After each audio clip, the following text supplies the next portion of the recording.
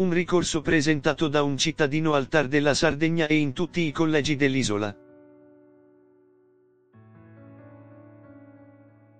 Il cui esame è stato accolto dal Tribunale Civile di Sassari, rischia di creare il caos attorno alle elezioni regionali del 24 febbraio. Il ricorso mette nel mirino 5 liste, 4 di centrodestra a sostegno di Cristian Solinas, Lega, Forza Italia, Sardegna Civica, Energie per l'Italia, e una di centrosinistra, Sardegna in Comune, che supporta Massimo Zeppa. La contestazione riguarda la mancata raccolta delle firme necessarie per potersi presentare alle elezioni. Gli schieramenti in questione si sono avvalsi di cinque consiglieri regionali uscenti grazie ai quali hanno ovviato all'incombenza. La procedura, in sé, è consentita dalla legge, e infatti chi ha presentato ricorso ha contestato nello specifico il fatto che ciascuno dei consiglieri in questione avrebbe fatto da garante a una lista per poi candidarsi dopo l'indizione dei comizi elettorali in un'altra. Il ricorrente, che ha chiesto l'incandidabilità dei consiglieri e la ricusazione della lista d'appartenenza. Ha contestato la mancata corrispondenza tra il contrassegno apposto sul modulo di accettazione della candidatura e quella del partito politico a cui il candidato alla carica di consigliere ha successivamente aderito.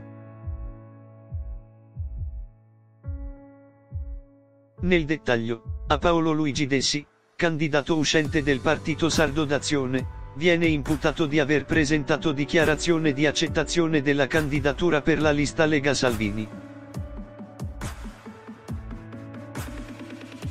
Salvo poi ricandidarsi per il Partito Sardo d'Azione nella circoscrizione Carbonia Iglesias, abbiamo agito come previsto replica a libero.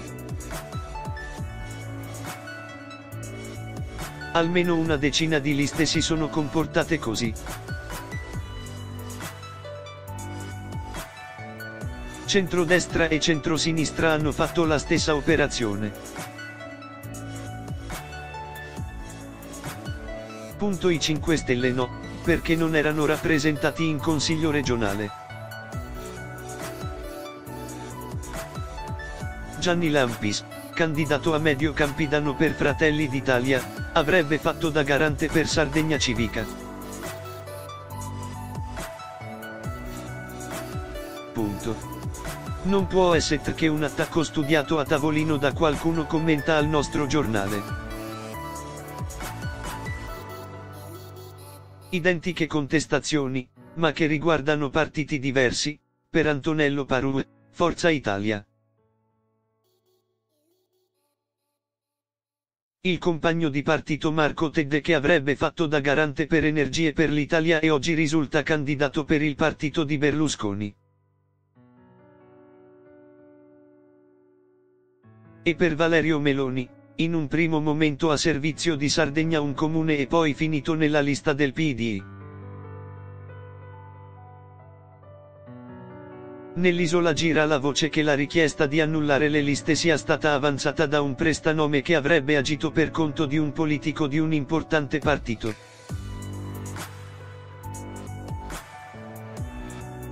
L'udienza per la discussione è stata fissata a Sassari il 19 febbraio.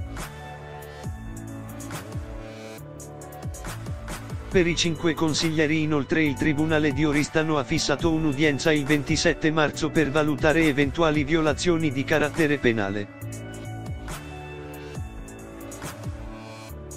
Oltre al passaggio da un partito a un altro è un ulteriore fronte che potrebbe mettere i bastoni tra le ruote alla Lega.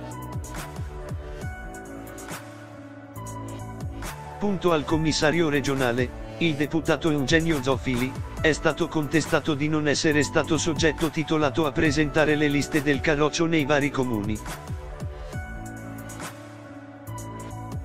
Il motivo? Nello statuto della Lega, per tale operazione, non sarebbe contemplata la figura del commissario. Quando ho depositato il contrassegno nessuno mi ha detto niente. Sinceramente è l'ultimo dei miei problemi e della faccenda se ne stanno occupando i legali della Lega, io mi sto interessando dei nostri pastori e del fatto che in certe zone manca la copertura telefonica anche per chiamare i numeri di emergenza.